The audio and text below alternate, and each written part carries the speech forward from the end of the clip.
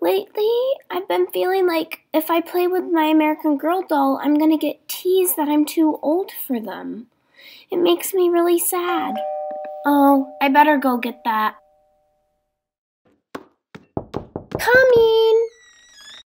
Oh, hi, Autumn. Do you need anything? Actually, I just stopped by to say hi. Oh my gosh, you play with American Girl dolls?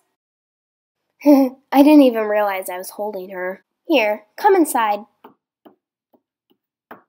Pippa, don't worry. I play with American Girl dolls too. I take mine everywhere but school because I'm afraid I'll get teased. It's really sad that many people are afraid to do what they love. We have to take action. I think I have an idea. But I wonder what would happen if you say what you wanna say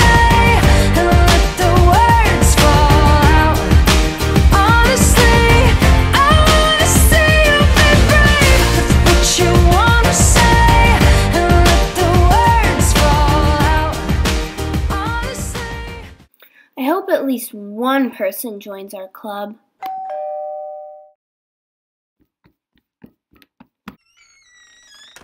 Oh, hello. Are you here for the club? Yes, I am indeed. My name is Felicity. Wonderful. My name's Pippa. Here, come on inside. My name's Autumn, by the way, and thanks so much for joining our club. We have one question for you. Why do you like dolls? Well, I like dolls because when I grow up, I want to be a fashion designer. I love designing clothes for my dolls. Oh, I'll go get that. Look, more members for the club. This is so exciting. So, why do you guys like dolls? I love photography. I love taking photos of my dolls. I love to sing, and I do karaoke with my dolls.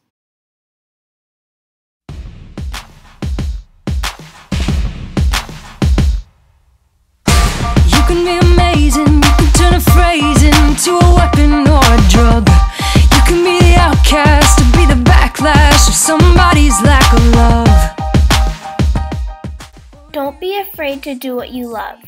Like me, I was afraid that people would tease me for playing with dolls, but I didn't realize there were so many other girls out there that felt the same way. I just had to do something about it, so I started a club. If you are feeling this way too, make sure to take action. Don't be afraid to be yourself.